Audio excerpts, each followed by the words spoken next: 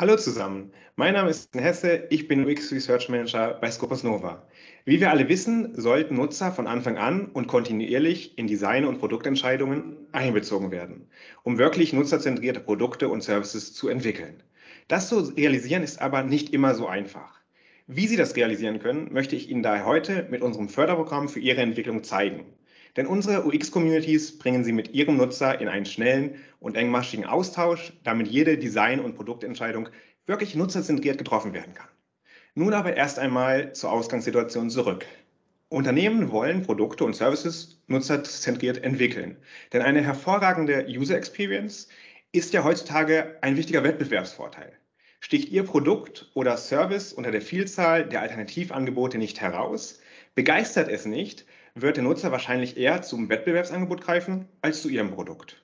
Entspricht das Produkt oder der Service nicht den Erwartungen des Nutzers, liegt das wiederum häufig daran, dass er oder, so, äh, dass er oder sie zu spät gefragt wurde und in den Prozess der Entwicklung involviert wurde.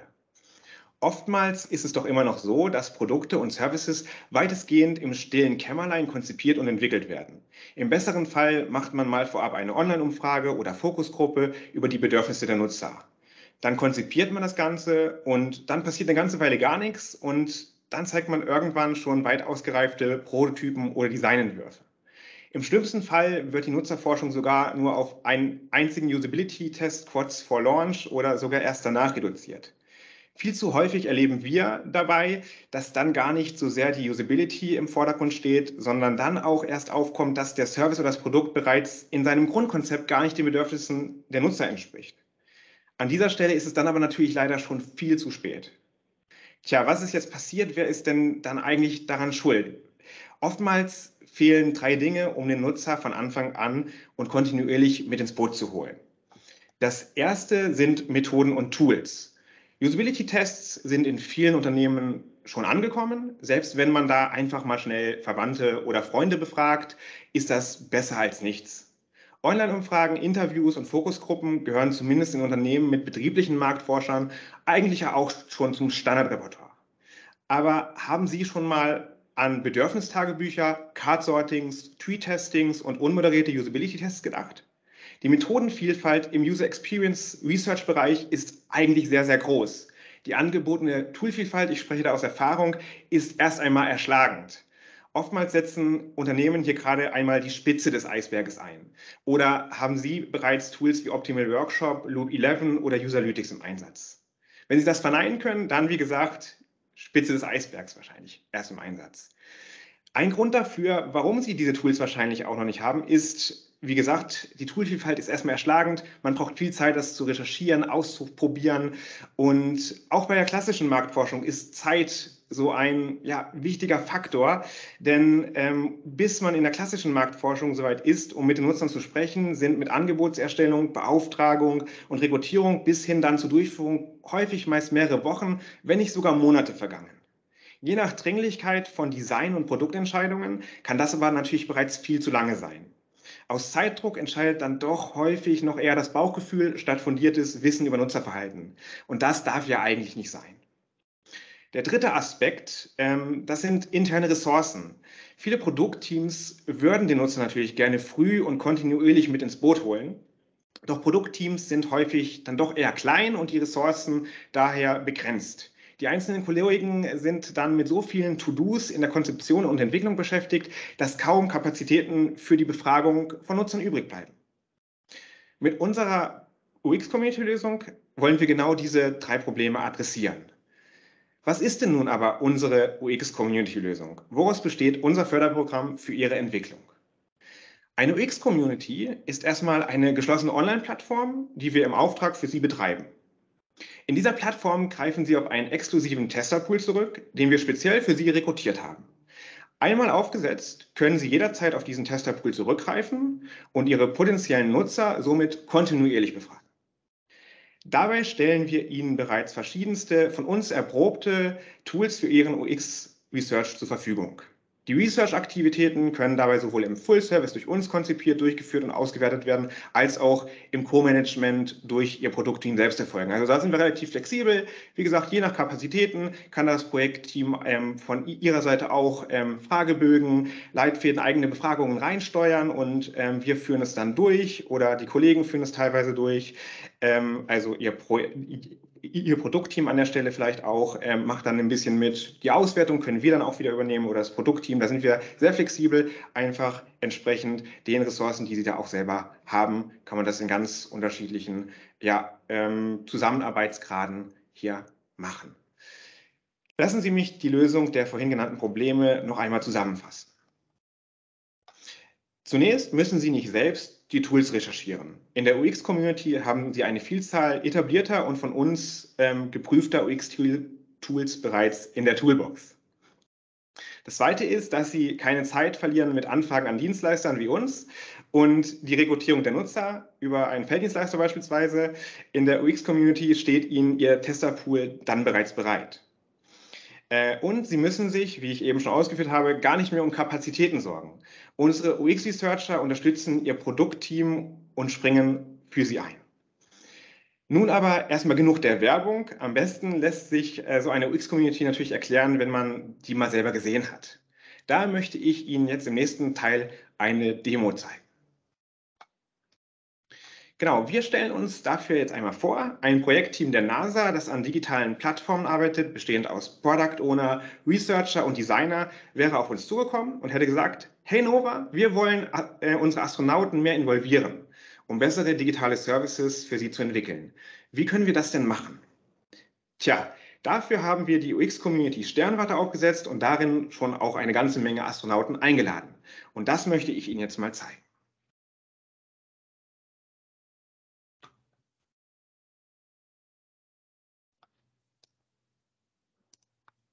So, Sie müssten jetzt hier ähm, die UX-Community Sternwarte sehen.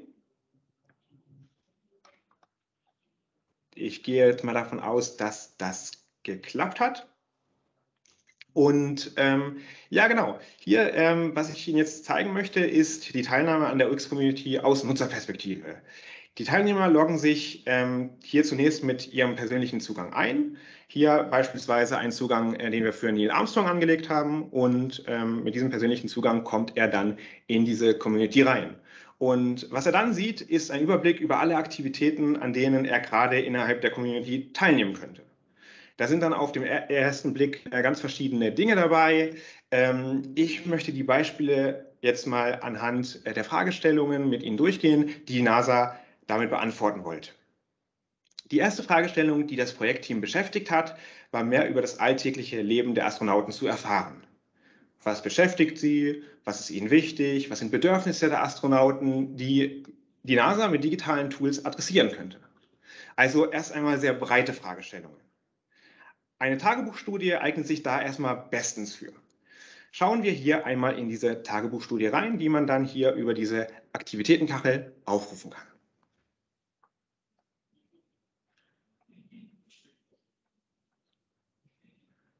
Genau, hier sehen wir jetzt das Tagebuch von Neil Armstrong. Hat ein bisschen ähm, darum gekämpft, auch wirklich als Erster auf dem Mond sein zu dürfen. Und äh, was wir hier aber auch rauslesen können und was dann auch ähm, äh, aus den Tagebüchern der anderen Astronauten hervorgegangen ist, ist, dass es scheinbar ein starkes Bedürfnis gibt, mehr über die Mission anderer Astronauten zu erfahren. Jeder ist da so sehr auf seine eigene Mission fokussiert, dass man überhaupt nicht mehr mitbekommt, woran, Ast woran die ganzen anderen Astronauten gerade arbeiten. Es gibt aber im Moment noch keine richtig gute Möglichkeit, sich darüber zu informieren. Soweit erst zu unserer ersten Aktivität und zu den Bedürfnissen der Nutzer. Hier beim Tagebuch sei noch gesagt, ähm, das ist wirklich ein persönliches Tagebuch. Also nur Neil Armstrong kann da in sein Tagebuch reinschreiben. Wir als Betreiber der Community, als Moderatoren können das lesen und können auch die Tagebücher der anderen lesen. Alle anderen Astronauten können aber nicht sehen, was Neil Armstrong da reingeschrieben hat. Also es ist ähm, quasi das private Tagebuch hier online dann, was hier geführt wird ähm, zum Thema, ja, was beschäftigt mich eigentlich als Astronaut. Was man hier an der Stelle auch hätte machen können, wäre beispielsweise ein Forum aufzusetzen, wo die Astronauten dann über ihre Bedürfnisse diskutieren. Das wäre dann quasi so, dass man ein Kommentarfeld hat und auch die Kommentare aller anderen Astronauten lesen kann. Das ist einfach so eine Entscheidung, die man treffen kann. Ist es eher was Persönliches, was Privates, ähm, so dass man einen geschützten Raum hat und so ein Tagebuch, oder äh, will man die Astronauten untereinander diskutieren lassen und dann hätte man hier beispielsweise ein Forum. So, wir haben ähm, nun die grundlegenden Bedürfnisse der Nutzer, unserer Astronauten an der Hand. Aber wie geht es denn damit dann weiter? Wie wird aus diesem doch noch sehr vagen Bedürfnis etwas zu erfahren, was die anderen Astronauten denn so tagtäglich machen, nun nutzerzentriert auch ein Produkt entwickelt? Dafür haben wir natürlich auch eine Methode und äh, eine Aktivität parat.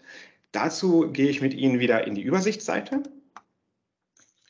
Und ähm, genau, was wir hier jetzt vor uns haben, ist äh, dieser Ideation Workshop. Da äh, stand zunächst im Raum ein Ideation Workshop auf Grundlage dieser Bedürfnisse nur exklusiv mit dem Projektteam durchzuführen, also einen internen Workshop, ohne die Astronauten dann zu involvieren. Wir haben dann aber in diesem Schritt davon abgeraten, denn die Community macht es hier wahnsinnig leicht, die Astronauten auch in die Ideenfindung zu involvieren.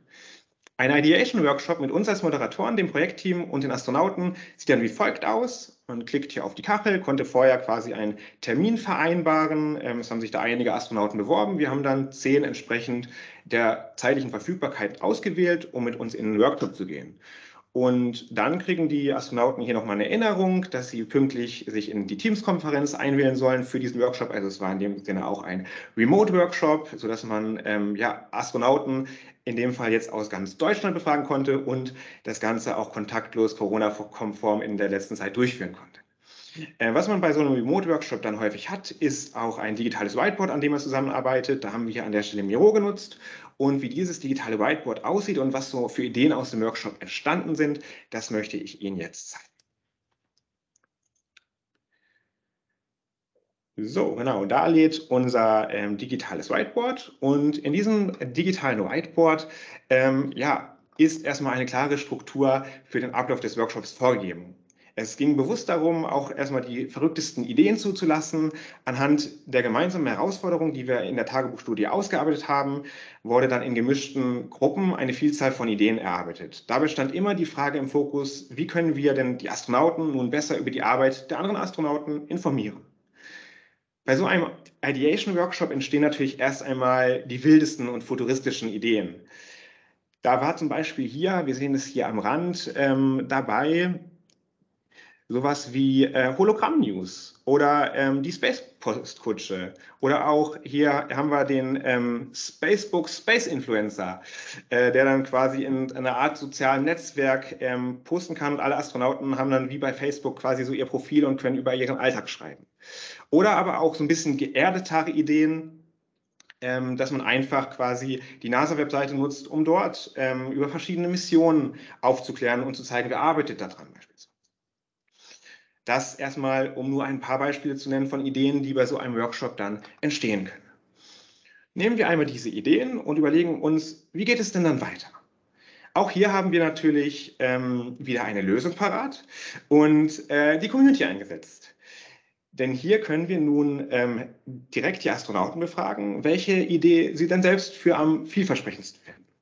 Dafür kann man dann in der Community einfach eine klassische Online-Befragung schalten, äh, während wir im Prinzip die Ideen mit zehn Leuten erstmal, also zehn Astronauten im Workshop erarbeitet haben, ging es dann quasi an alle Astronauten, die in dieser Community registriert sind. Und äh, die haben dann diese Kachel bekommen, Ideen bewerten. Und das sieht dann letztlich so aus, dass eine Online-Umfrage hintersteckt. Und hier kann ich jetzt zum Beispiel Spacebook bewerten hinsichtlich Nutzungswahrscheinlichkeit hinsichtlich, würde ich denn da auch eigene Beiträge beisteuern? Wie gefällt mir die Idee? Würde die, dieses Bedürfnis befriedigen, mir Einblick in die Arbeit meiner Kollegen zu geben und passt das denn eigentlich auch zur NASA? Das kann ich jetzt hier für diese Idee ankreuzen. So als Leser finde ich auch, das, das finde ich gut, das würde ich nutzen. Regelmäßig Beiträge beisteuern. Ich bin jetzt auch hier nicht jemand, der so häufig in Facebook reinschreibt. Also dann mit meinen Astronautenkollegen da, das weiß ich ehrlich gesagt nicht so. Ich denke eher nein. Äh, aber die Idee gefällt mir erstmal gut. und ähm, Einblick. Ob ich dann wirklich so viel Einblick bekomme oder einfach Neil Armstrong dann sein Mittagessen postet, das ist natürlich dann auch so eine Frage. Äh, also weiß ich nicht so. Und passt zur NASA, ja, weiß ich auch nicht. Aber ähm, genau, was haben wir denn da noch so für Ideen? Äh, NASA-Webseitenbereich. Das würde ich auch lesen, ja. Ach, da könnte ich mir auch mal vorstellen, ja, das heißt regelmäßig, aber da würde ich was beisteuern zu. Da würde ich über meine Mission schreiben und dann, ja, das, das würde ich schon machen. Äh, das finde ich auch sehr gut. Das würde mir bestimmt auch Einblick bringen und die NASA-Webseite, die gibt es ja schon, das passt zur NASA. So.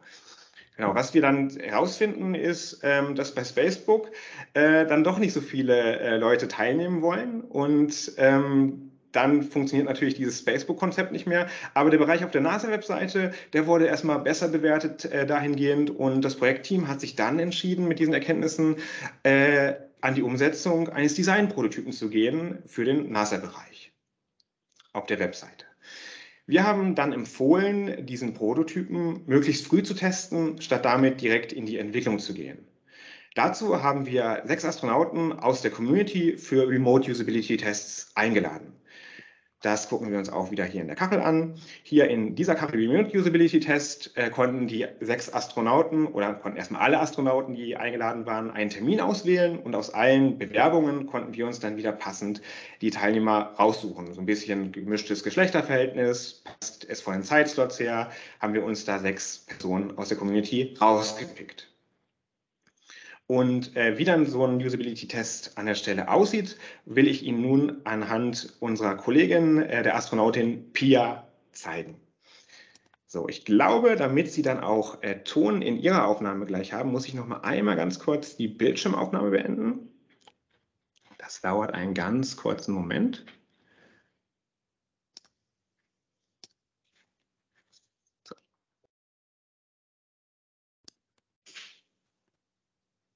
So, da haben wir jetzt das Remote-Interview mit äh, Astronautin Pia, dass sie sich hier, wenn sie selber jetzt teilgenommen hat und auf die Kachel klickt, auch nochmal selber anschauen kann. Und ähm, ja, da würde ich sagen, schauen wir uns einfach mal an, was ähm, sie uns so erzählt hat und wie sie mit diesen Klickprototypen, den wir ihr gezeigt haben, klargekommen ist. Dank, dass du dir die Zeit nimmst, mit uns äh, über deine Erfahrungen zu sprechen und mit uns gleich auch einen Prototypen anschaust. Erzähl doch einfach mal, wer bist du und was beschäftigt dich gerade? Ja, hey, äh, ich bin die Pia. Ich bin jetzt seit acht Jahren Astronautin bei der NASA und ich bin gerade auf der ISS. Moment mal, äh, entschuldige, mein Headset ist weggeschwebt. So, wo war ich dran? Ach ja, seit ich hier bin, äh, haben wir alle möglichen Experimente zu verschiedenen Themen durchgeführt aber irgendwie fehlt mir total der Draht zu den anderen Astronauten. Die Crew hier an Bord kenne ich ja, aber ich kriege ganz wenig mit, was zum Beispiel die Kollegen auf der Erde so machen. Das finde ich irgendwie schade. Mhm. Ja, dann bin ich mal gespannt, was du zu dem Prototypen sagen wirst, den wir heute dabei haben. Äh, teil doch bitte im ersten Schritt einmal deinen Bildschirm. Und äh, ich hatte dir ja schon den Link äh, von unseren Prototypen zugesendet. Einen Moment. So. Okay, super. Da sieht man das ja schon. Wir wollen heute über das ähm, Teleskop sprechen hier an der Stelle. Und ähm, du interessierst dich natürlich, äh, was die Kollegen auf der Erde mit diesem Teleskop machen und möchtest mal herausfinden, welcher deiner Kollegen denn am Projekt überhaupt äh, beteiligt ist. Äh, wie kannst du denn sehen, wer von deinen Kollegen hier beteiligt ist?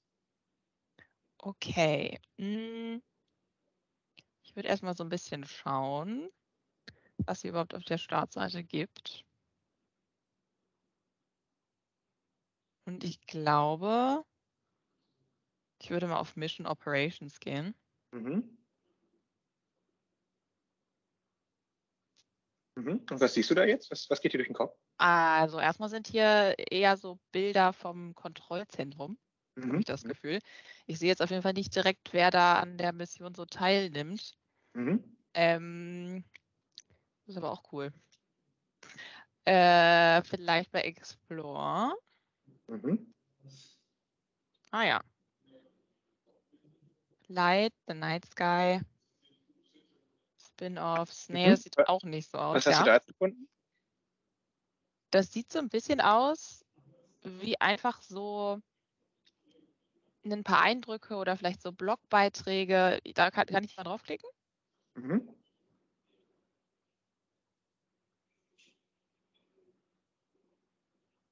Wow. Mhm. Ah ja, das sind so kleine Artikel, glaube ich. Mhm. Ja, auf jeden Fall ja, ist es nicht, ähm, sind es nicht meine Kollegen, die ich hier sehe. Mhm. Hm, vielleicht About? Oder komme ich da zurück? Okay, also Story, History, Timeline. Oh, Team. Mhm. Da würde ich drauf gehen. Mhm. Ja, das sieht doch so aus, als ob die da mitarbeiten. Hier. Mhm. Ja, und ähm, wie empfindest du die Aufbereitung hier? Ich finde es relativ schwer zu finden, ehrlich mhm. gesagt. Also ich hätte das irgendwie als hinter Mission Operations oder so vielleicht vermutet. Mhm. Einfach weil das Wort Mission für mhm. mich mhm. bedeutet, dass äh, das einfach, äh, ja, dass an der Mission vielleicht das Team beteiligt ist, irgendwie so. Bei About, ja, also es ergibt schon Sinn, dass das da ist, aber ist für mich nicht so deutlich, muss ich sagen. Mhm. Mhm. Okay, ja, das verstehe ich. Okay, super. Danke dir. Ja, ähm, wie wir sehen, hatte unsere Astronautin Pia dann doch noch ein paar Schwierigkeiten gehabt, sich in unserem Prototypen zurechtzufinden. Es war also Zeit, noch einmal über die Strukturierung und Kategorisierung der Inhalte nachzudenken. Und ähm, um da besser zu verstehen, wie Astronauten denken, haben wir im nächsten Schritt dann mal 50 Astronauten eingeladen, die Inhalte in unserem Prototypen nochmal ganz neu zu sortieren. Aus Nutzersicht sieht das dann wiederum so aus, dass wir hier eine Aktivität angelegt haben, Inhalte sortieren. Da steckt letzten Endes ein Card-Sorting hinter. Auch das möchte ich Ihnen jetzt mal zeigen. Und genau, hier haben wir dann auch mal Kollegen aus dem internationalen Kontext eingeladen, also weltweit Astronauten oder vielleicht auch ein paar auf der internationalen Raumstation. Und äh, wenn die das Ganze dann geöffnet haben, haben sie hier erstmal entsprechend eine kleine Einführung bekommen und dann haben Sie jetzt hier äh, links ähm, die verschiedenen Inhalte gesehen und konnten die dann rechts äh, auf der Fläche platzieren, um sie zu sortieren. So, da können wir auch mal schauen, was ist denn da dabei, was macht denn eigentlich Sinn. Ähm, da sehe ich schon hier, hm, wenn ich übergehe, hier 360 Grad Tour, das ist doch irgendwie was Unterhaltsames. Haben wir noch andere unterhaltsame Sachen da dabei? Hier, eine Quiz Challenge. Das ist auch was Unterhaltsames. Hm, was haben wir dann noch so? Hubble in the Sky, Videos, Videos, Videos sind auch was Unterhaltsames. Und da haben wir noch ein Video. Und dann hatte ich doch, ah ja, hier, From Space to Sound, das klingt auch nach irgendwie so, das ist bestimmt jetzt nicht irgendwie so ganz seriöse Wissenschaft, sondern das ist so Unterhaltungs, äh, also so ein Unterhaltungsbereich. Könnte ich jetzt hier mal Unterhaltung oder Entertainment oder irgendwie Fun oder so nennen. Und dann gucken wir mal, was haben wir denn da noch so dabei? Instruments, das ist jetzt auf jeden Fall, das sind so harte Fakten, das ist ein technisches Thema, wie das Ganze, wie das Ganze funktioniert. Dieses Space-Teleskop war das hier, hier, genau. Da haben wir auch noch hier äh, Electrical Power, das gehört da auch zu, das ist was Technisches. Ähm, Communications, das hat auch ein bisschen was Technisches, denke ich. Ja, das Design, ja, das denke ich auch gehört da rein, Optics, das sind so, genau, das sind so die ganzen technischen Hintergründe. Ähm, das nenne ich äh, Technik. Genau, und so kann ich dann die verschiedenen Inhalte hier sortieren in verschiedene Kategorien und wir lernen wiederum, ähm, indem wir das mit vielen Astronauten durchführen, welche ähm, Kategorisierungen kommen häufiger vor, wie Wörter sortiert. Also wir, äh, wir lernen zu verstehen, wie die Astronauten die Inhalte einsortieren würden. Also so ein bisschen, wie die Astronauten da ticken und können davon ableiten, wie wir die Webseite aufbauen müssen, damit die Astronauten damit gut klarkommen, dass die Inhalte im Prinzip an der Stelle sind, wo die Astronauten sie auch erwarten. Das ist für die Astronauten eine sinnvolle Sortierung. Äh, es gibt natürlich hier jetzt nicht die eine richtige Lösung. Meist entstehen hier äh, zwei oder drei verschiedene Möglichkeiten der Anordnung. Möchte man wissen, welche da am besten funktioniert, muss man noch einmal die Astronauten bei der Nutzung beobachten. Es ist also dann Zeit für einen etwas größer angelegten Prototypentest. Dazu wurden nämlich jetzt äh, drei verschiedene Anordnungen, die aus dem Card-Sorting entstanden sind, jeweils in einem Klick-Prototypen umgesetzt. Also schon mal drei Klick-Prototypen. Um diese drei Prototypen dann mit einer angemessenen Fallzahl auch vergleichen zu können, ist es jetzt natürlich gut, dass wir schon über 100 Astronauten aus aller Welt in unserer Community haben. aber die jetzt alle bei der Nutzung dieser verschiedenen Prototypen zu beobachten, jetzt so im Rahmen von einem klassischen Usability-Test, wie wir das mit der Astronauten Pia durchgeführt haben, das würde natürlich sehr, sehr lange dauern. Also dann äh, hätte ich ja, selbst wenn das nur eine halbe Stunde ist, dieser, äh, moderierte, äh, dieser moderierte Usability-Test, habe schon vorgegriffen, ähm, wenn dieser moderierte Usability-Test ähm, nur eine halbe Stunde lang ist, mit 100 Astronauten, wären das ja dann schon 50 Stunden Videomaterial, beziehungsweise auch ein Moderator, der sich 50 Stunden dahinsetzen müsste.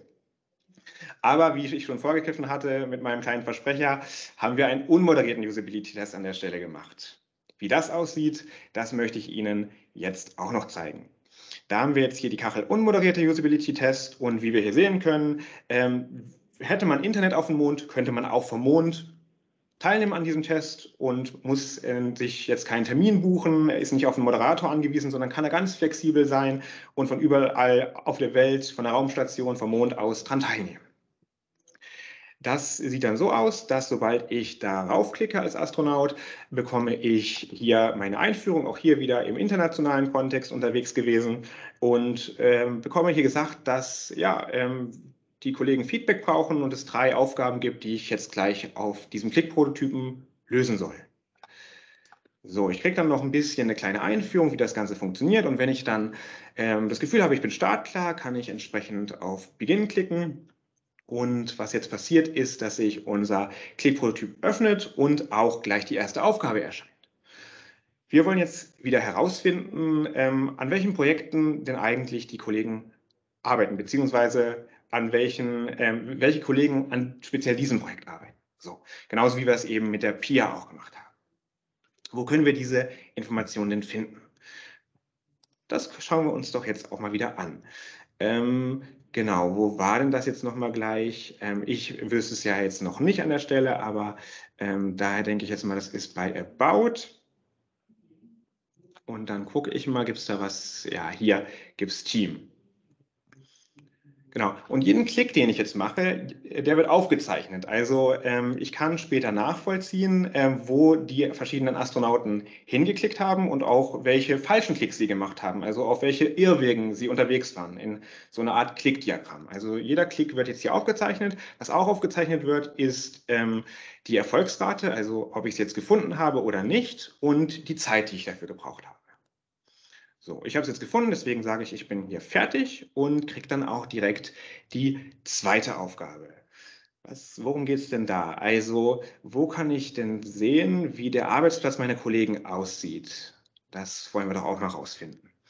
So, dann starte ich mal und der Arbeitsplatz meiner Kollegen, ich weiß ja jetzt schon, die Kollegen, die sind unter About. Da schaue ich nochmal beim Team nach.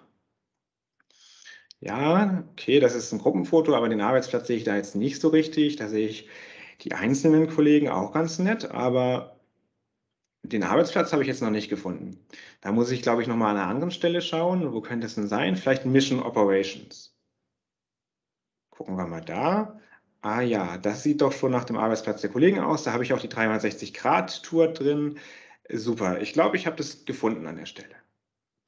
So, schauen wir mal nach der nächsten Aufgabe. Auch hier wird jetzt, wurde jetzt wieder aufgezeichnet, wo ich ähm, geklickt habe, auch dass ich hier fehlgeleitet worden bin, dass das mit About für mich missverständlich war. Das kann ich dann anhand der Klickpfade herausfinden und kann auch schauen, wie viele das jetzt betroffen hat. Wenn ich da jetzt beispielsweise sehe, dass die Hälfte der Astronauten zunächst auf About geklickt hat, finde ich nochmal raus, dass das About an der Stelle irritierend ist und dass man vielleicht nochmal, ja, dass ich mit einer anderen Sortierung anschauen sollte.